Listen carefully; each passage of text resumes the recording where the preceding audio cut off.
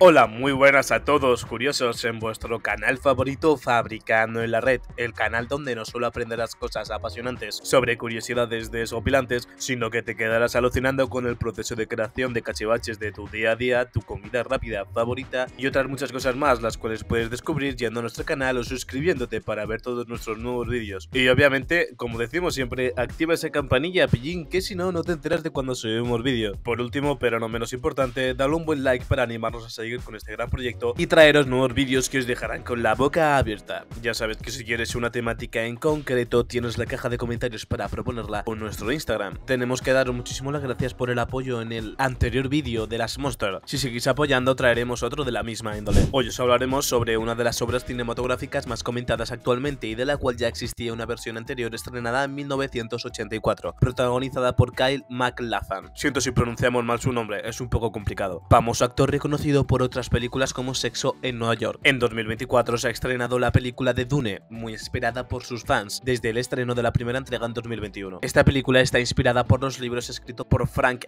Herbert en 1965. Fue conocido por su trabajo en el mismo año de su estreno y fue un gran éxito. Sin embargo, porque no se decidió hasta 2021 trasladarla de nuevo a la gran pantalla. Una de las razones puede ser por su extensa y densa trama, ya que en este libro Herbert se inventa un nuevo universo con su propia historia, lenguaje y pueblos, lo que hace que su adaptación cinematográfica sea un verdadero reto. Aparte de su extensa historia y complicados personajes con un complejo trasfondo, como decíamos, la trama se desarrolla en unos parajes únicos que realmente fue un reto para el director de la cinta, para crear el mundo visualmente impactante de esta mítica obra espacial. Inimaginablemente, la mayoría de los lugares de rodaje que aparecen son reales. ¿Quieres ver cómo se hicieron? Quédate hasta el final. Uno de los ejemplos que se puede ver en la película más fácilmente es el acantilado de las Islas de King, que realmente es un lugar que se encuentra en la costa noruega. En una entrevista, el director Villanov dijo que una de las condiciones que solicitó para hacer en la película fue que para una de las escenas del desierto quería rodar en un desierto real. Con ello, el director quería transmitir a los actores y actrices la espiritualidad y misticismo que inspira un lugar como este, tan fascinante. Algunas de las tribus adaptadas para sobrevivir allí eran los Fremen, de las regiones de Arrakis. Las escenas de la cinta rodadas en zonas más escarpadas y rocosas del planeta se filmaron en Wadi Rum, una enorme zona protegida de Jordania,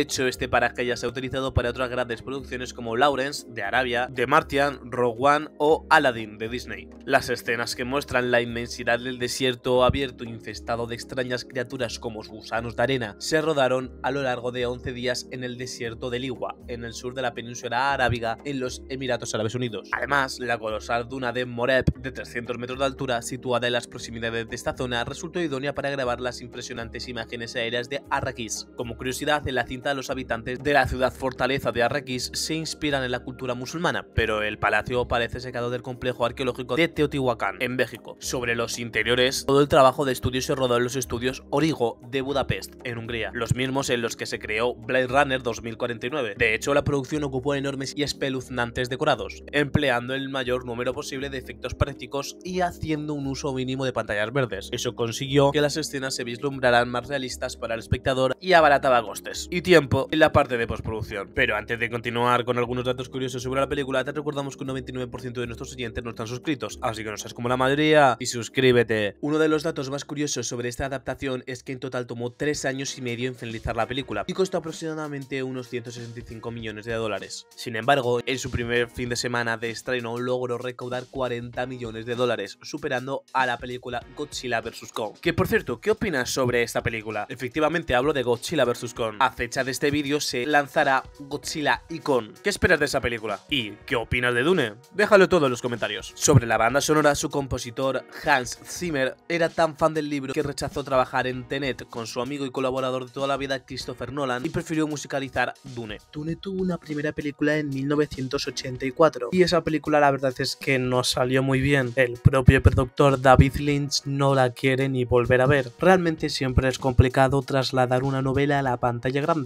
pero mucho más si te surgen todas las dificultades del mundo por el camino. Esto es lo que sucedió con Dune de 1984 y aún con todo el resultado final no pareció convencer ni a sus propios responsables. No obstante, y a pensar de la imagen que tiene David Lynch de su película, sí que es cierto que con el paso de los años son muchos los que se han comenzado a considerar fans de este film y a reivindicarlo como una obra que merece la pena. Tengamos la opinión que tengamos, no cabe duda de que se trata de una película curiosa y nada que ver con sus predecesoras del 2021 y 2024. Adaptar las novelas de Frank Herbert parece ser una tarea hercúlea. Podremos decir que Denis Villano es el Hércules de la edad moderna. La película de 1984 se puede titular como el batacazo lynchiano. El propio David Lynch ha dejado claro que considera a Dune como el único fallo verdadero de toda su carrera. Al guionista y director no le hace ni pizca de gracia hablar en detalle sobre la producción de la película y ha rechazado numerosas ofertas para hacer una edición especial en DVD del film. Lynch cree que volver a ver la serie una experiencia demasiado dolorosa para él. Y suena peculiar, cuanto menos, pero los trajes que llevaban los miembros de la hermandad eran simplemente bolsas de cadáveres que habían sido encontradas en un parque de bomberos abandonado en los años 20, y para más Inri habían sido usadas en unas cuantas ocasiones, aunque no se le dijo a los actores hasta que el film terminó su rodaje. ¿Y tú, si hubieras sido uno de esos actores, qué hubieras hecho? Déjalo en los comentarios, aunque creemos que nada muy bueno. Sean Young tenía una prueba para el papel de Chani en Nueva York con David Lynch y Rafaela de Laurentiis, pero no se presentó porque su agente no se lo dijo y además tenía que tomar un vuelo de regreso a Los Ángeles. El director y la productora perdieron su vuelo y terminaron cogiendo el mismo que la actriz. Cuando la vieron en el avión, De Laurentiis le pidió explicaciones, pero todo se arregló y los tres terminaron bebiendo champán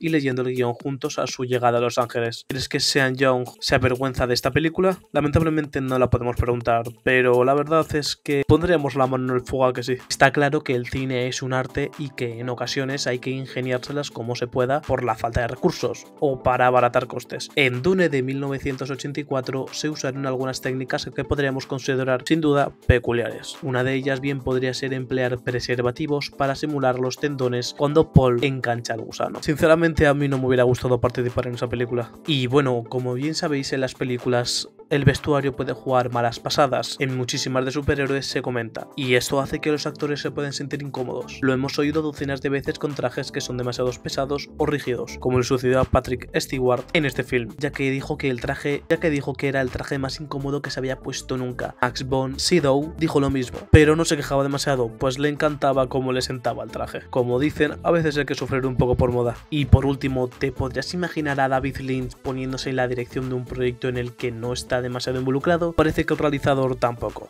y es por esa misma razón por la que en su día rechazó dirigir Star Wars Episodio 6 El Retorno del Jedi, para ponerse enfrente de Dune. Lynch quiso dejarle claro a George Lucas que aquel proyecto era cosa suya, lo del surrealista director. Antes de terminar, para asegurarnos de que efectivamente has estado atento al vídeo, te voy a lanzar una pregunta que tendrás que escribir en comentarios antes de que termine el tiempo. Ya empieza los 10 segundos, corre. ¿En qué año se publicó el primer libro de Dune, escrito por Frank Herbert? Vamos, que el contador corre. Ya te queda poco, date prisa. Y tiempo. Esperemos que hayas acertado. Te diremos la respuesta en el próximo vídeo. Mantente atento. Pero bueno, como siempre decimos, como todo lo bueno, todo acaba. Pero este vídeo ha sido realmente interesante. ¿No es así? Aquí acaba el vídeo, pero no estéis tristes, curiosillos, que pronto estaremos más vídeos apasionantes de curiosidades desopilantes. Recuerda suscribirte, darle a esa campanita y machacar el botón de like. Sin más que añadir, hasta la próxima, curiosos. Os queremos.